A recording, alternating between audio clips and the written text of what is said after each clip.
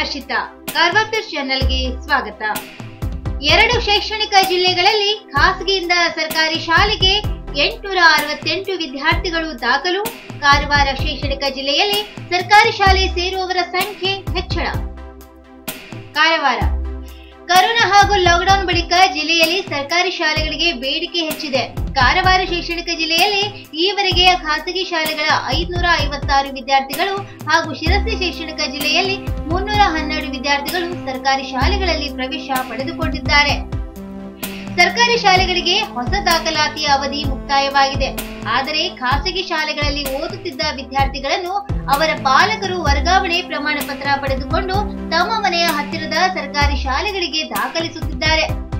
LKG ಓದಿದ ಖಾಸಗಿ ಶಾಲೆಯಲ್ಲೇ ಮುಂದುವರಿಯಲು ಅವಕಾಶವಿದ್ದ ವಿದ್ಯಾರ್ಥಿಗಳು ಸರ್ಕಾರಿ ಶಾಲೆಯಲ್ಲಿ ಒಂದನೇ ತರಗತಿಗೆ ಸೇರುತ್ತಿರುವುದು ಗಮನಾರ್ಹ. ಕೆಲವು ಪಾಲಕರಿಗೆ ಮಕ್ಕಳನ್ನು ಖಾಸಗಿ ಶಾಲೆಗಳಿಗೆ ಕಳುಹಿಸಬೇಕು ಎಂಬ ಹಂಬಲವಿದೆ. ಆದರೆ ಹಣಕಾಸಿನ ಕೊರತೆಯಿಂದಾಗಿ ದುಬಾರಿ ಡೊನೇಷನ್ ಹಾಗೂ ಶುಲ್ಕ ಪಾವತಿಸಲು ಸಾಧ್ಯವಾಗುತ್ತಿಲ್ಲ. ಶಾಲಾ ವಾಹನಕ್ಕೂ ಸಾವಿರಾರು ರೂಪಾಯಿ ನೀಡುವುದು ಅಸಾಧ್ಯ ಎಂಬಂತಾಗಿದೆ. ಅಲ್ಲದೆ ತರಗತಿಗಳೇ ಆರಂಭವಾಗದೆ ನಾವೇಕೆ ಶುಲ್ಕ ಪಾವತಿಸಬೇಕು ಎಂಬ ವಾದವು ಪಾಲಕರದ್ದಾಗಿದೆ. ಮತ್ತೆ ಕೆಲವರಿಗೆ ಮಕ್ಕಳನ್ನು ಮೊದಲಿನಂತೆ ಖಾಸಗಿ ಶಾಲೆಗೆ ಕಳುಹಿಸುವುದೇ ಅಥವಾ ಸರ್ಕಾರಿ ಶಾಲೆಯಲ್ಲಿ ದಾಖಲಾತಿ ಮಾಡಿಸುವುದೇ ಎಂಬ ಗೊಂದಲವಿದೆ. ಅಂತ ಪಾಲಕರ ಮಾಹಿತಿ ಸಿಕ್ಕಿದ ಕೂಡಲೇ ಸರ್ಕಾರಿ ಶಾಲೆಗಳ ಶಿಕ್ಷಕರು ಸಂಪರ್ಕಿಸುತ್ತಿದ್ದಾರೆ. ಮಕ್ಕಳನ್ನು ಯಾವುದಾದರೂ ಶಾಲೆಗೆ ಸೇರಿಸಲೇಬೇಕು. ಇಲ್ಲದಿದ್ದರೆ ಕಡ್ಡಾಯ ಶಿಕ್ಷಣ ಕಾಯ್ದೆಯ ಉಲ್ಲಂಘನೆಯಾಗುತ್ತದೆ ಎಂದು ಎಚ್ಚರಿಕೆ ನೀಡುತ್ತಿದ್ದಾರೆ. ಕೋವಿಡ್ ಭಯ ಬಿಟ್ಟು ಸರ್ಕಾರಿ ಬಸ್ ಸೇರುತ್ತಿರುವ ಪ್ರಯಾಣಿಕರು ಚೇತರಿಕೆ ಹಾದಿಯಲ್ಲಿ ಸಾರಿಗೆ ವಿಭಾಗ. ಶಿರಸಿ. ಕೋವಿಡ್ ಭಯದಿಂದ ಜನ ಹಂತ ಹಂತವಾಗಿ ಹೊರಬರುತ್ತಿದ್ದು, ಹಳ್ಳಿಗಳಿಂದ ಬಸ್ಗಳನ್ನು ಅವಲಂಬಿಸಿ ನಗರಕ್ಕೆ ಬರುವವರ ಪ್ರಮಾಣವು ಏರುತ್ತಿದೆ. ಪರಿಣಾಮವಾಗಿ ವಾಯುವ್ಯ ಕರ್ನಾಟಕ ರಸ್ತೆ ಸಾರಿಗೆ ಸಂಸ್ಥೆಯ ಉತ್ತರ ಕನ್ನಡ ವಿಭಾಗದ ಆದಾಯದಲ್ಲಿ ಚೇತರಿಕೆ ಕಾಣುತ್ತಿದೆ ಮಾರ್ಚ್ ಕೊನೆಯ ವಾರದಿಂದ ಬಸ್ಗಳ ಸಂಚಾರ ನಿಂತಿತ್ತು. ಮೂರು ತಿಂಗಳು ಕಳೆದ ನಂತರ ಜೂನ್ ವೇಳೆಗೆ ದೂರದ ಊರುಗಳಿಗೆ ಮಾತ್ರ ಬಸ್ ಸಂಚಾರ ಆರಂಭವಾಯಿತು. ಆದರೆ ಪ್ರಯಾಣಿಕರ ಕೊರತೆಯಿಂದ ಸ್ಥಳೀಯ ಬಸ್ಗಳ ಸಂಚಾರ ಕಡಿಮೆಯಾಗಿತ್ತು. ಒಂದು ತಿಂಗಳಿಂದ ಗ್ರಾಮೀಣ ಭಾಗಗಳತ್ತ ಬಸ್ಗಳು ಸಂಚರಿಸುತ್ತಿವೆ. ಆದರೆ ಕೋವಿಡ್ ಭಯಕ್ಕೆ ಪ್ರಯಾಣಿಕರು ಬಸ್ ಸೇರಲು ವಾರದಿಂದೀಚೆಗೆ ಹಳ್ಳಿಗಳಿಂದಲೂ ಜನನಗರ ಪಟ್ಟಣಕ್ಕೆ ಬಸ್ಗಳ ಸಂಚಾರವನ್ನು ನೆಚ್ಚಿಕೊಂಡು ಬರುತ್ತಿದ್ದಾರೆ. ಆರಂಭದ ದಿನಗಳಿಗಿಂತ ಈಗ ಸ್ವಲ್ಪ ಮಟ್ಟಿಗೆ ಪ್ರಯಾಣಿಕರ ಸಂಖ್ಯೆ ಹೆಚ್ಚಿದೆ. ದಿನದ ಟಿಕೆಟ್ ಶುಲ್ಕ ಸಂಗ್ರಹವು ಉತ್ತಮವಾಗಿದೆ.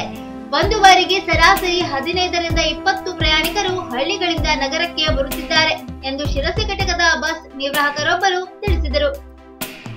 ವಿಭಾಗ ವ್ಯಾಪ್ತಿಯ ಸಾರಿಗೆ ಘಟಕಗಳಲ್ಲಿ ಪ್ರಮುಖ ಮಾರ್ಗಗಳಿಗೆ ದಿನಕ್ಕೆ ಎರಡು ಬಾರಿ ಬಸ್ಗಳನ್ನು ಬಿಡುವಂತೆ ಸೂಚನೆ ಕೊಡಲಾಗಿದೆ.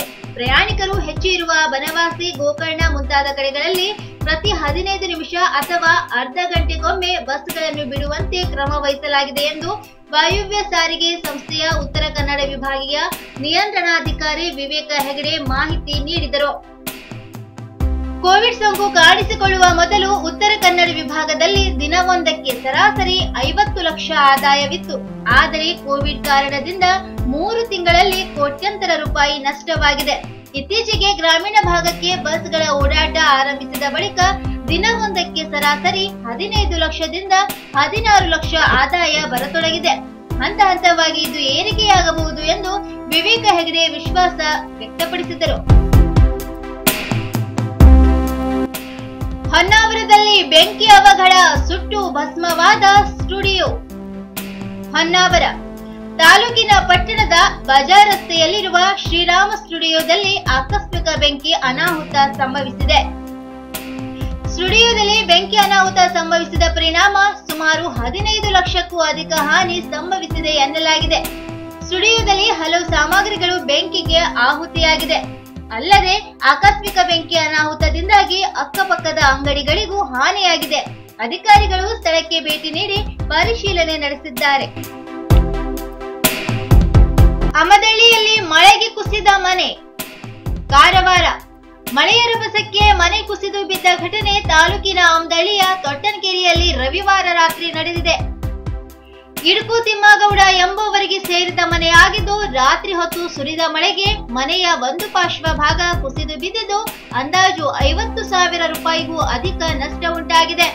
ಮನೆ ಕುಸಿದು ಬೀಳುವ ಸಂದರ್ಭದಲ್ಲಿ ಮನೆಯಲ್ಲಿದ್ದ ಎಲ್ಲರೂ ಹೊರಗೆ ಬಂದಿದ್ದರಿಂದ ಯಾವುದೇ ಅಪಾಯ ಸಂಭವಿಸಿಲ್ಲ.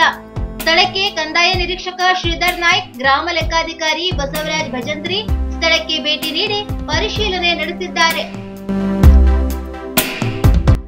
ಐದು ಸಾವಿರದ ಗಡಿ ದಾಟಿದ ಕರೋನಾ ಸೋಂಕಿತರ ಸಂಖ್ಯೆ ಉತ್ತರ ಕನ್ನಡದಲ್ಲಿಂದು ನೂರ ಮೂರು ಮಂದಿಗೆ ಪಾಸಿಟಿವ್. ಕಾರವಾರ ಜಿಲ್ಲೆಯಲ್ಲಿ ಮಂಗಳವಾರ ನೂರ ಮೂರು ಕೋವಿಡ್ ಹತ್ತೊಂಬತ್ತು ಪ್ರಕರಣಗಳು ವರದಿಯಾಗಿದ್ದು ಅರವತ್ತೆಂಟು ಮಂದಿ ಗುಣಮುಖರಾಗಿ ಬಿಡುಗಡೆಯಾಗಿದ್ದಾರೆ. ಕಾರವಾರದಲ್ಲಿ ಆರು, ಅಂಕೋಲಾದಲ್ಲಿ ಹನ್ನೊಂದು, ಕುಮಟಾದಲ್ಲಿ ನಾಲ್ಕು, ಹೊನ್ನಾವರದಲ್ಲಿ ಒಂಬತ್ತು, ಭಟ್ಕಳದಲ್ಲಿ ಎಂಟು, ಶಿರಸಿಯಲ್ಲಿ ಇಪ್ಪತ್ತೈದು, ಸಿದ್ದಾಪುರದಲ್ಲಿ ಯಲ್ಲಾಪುರದಲ್ಲಿ ಒಂದು ಮುಣಗೋಡಿನಲ್ಲಿ ಆರು ಹಳಿಯಾಳದಲ್ಲಿ ಇಪ್ಪತ್ತೊಂಬತ್ತು ಹಾಗೂ ಜೊಯ್ಡಾದಲ್ಲಿ ಒಂದು ಮಂದಿಗೆ ಸೋಂಕು ದೃಢಪಟ್ಟಿದೆ. ಇನ್ನು ಕಾರವಾರದಲ್ಲಿ ಮೂರು, ಅಂಕೋಲಾದಲ್ಲಿ ಐದು, ಹೊನ್ನಾವರದಲ್ಲಿ ಇಪ್ಪತ್ತೇಳು, ಯಲ್ಲಾಪುರದಲ್ಲಿ ಎರಡು ಹಳಿಯಾಳದಲ್ಲಿ ಇಪ್ಪತ್ತೈದು ಮುಂಡುಗೋಡ ಆರು ಮಂದಿ ಗುಣಮುಖರಾಗಿ ಆಸ್ಪತ್ರೆಗಳಿಂದ ಬಿಡುಗಡೆಯಾಗಿದ್ದಾರೆ. ಈವರೆಗೆ ಜಿಲ್ಲೆಯ ಐದು ಸಾವಿರದ ಅರವತ್ತೊಂಬತ್ತು ಮಂದಿಯಲ್ಲಿ ಸೋಂಕು ದೃಢಪಟ್ಟಿದ್ದು ಮೂರು ಸಾವಿರದ ಎಂಟುನೂರ ಹನ್ನೊಂದು ಮಂದಿ ಗುಣಮುಖರಾಗಿದ್ದಾರೆ. ಒಂದು ಸಾವಿರದ ಇನ್ನೂರ ನಾಲ್ಕು ಮಂದಿ ಚಿಕಿತ್ಸೆ ಪಡೆಯುತ್ತಿದ್ದಾರೆ. ಜಿಲ್ಲೆಯ ಮುಳುಗೋಡಿನಲ್ಲಿ ಕರೋನಾ ಸೋಂಕಿಗೆ ಓರ್ವ ಬಲಿಯಾಗಿದ್ದು, ಈ ಮೂಲಕ ಸಾವಿನ ಸಂಖ್ಯೆ ಜಿಲ್ಲೆಯಲ್ಲಿ ಐವತ್ನಾಲ್ಕಕ್ಕೆ ಏರಿದೆ. ಇನ್ನು ಮತ್ತಷ್ಟು ಸುದ್ದಿಗಾಗಿ ಕಾರ್ವರ್ ಪ್ಲಸ್ ವೀಕ್ಷಿಸಿ. ನೀವು ಯೂಟ್ಯೂಬ್ ಅಲ್ಲಿ ನೋಡ್ತಿದ್ದೀರಿ, ಸಬ್ಸ್ಕ್ರೈಬ್ ಮಾಡಿ, ಬೆಲ್ ಐಕಾನ್ ಕ್ಲಿಕ್ ಮಾಡಿ, ಫೇಸ್ಬುಕ್ ಪೇಜ್ ಅಲ್ಲಿ ನೋಡ್ತಿದ್ದೀರಿ, ಫಾಲೋ ಮಾಡಿ. ಧನ್ಯವಾದಗಳು.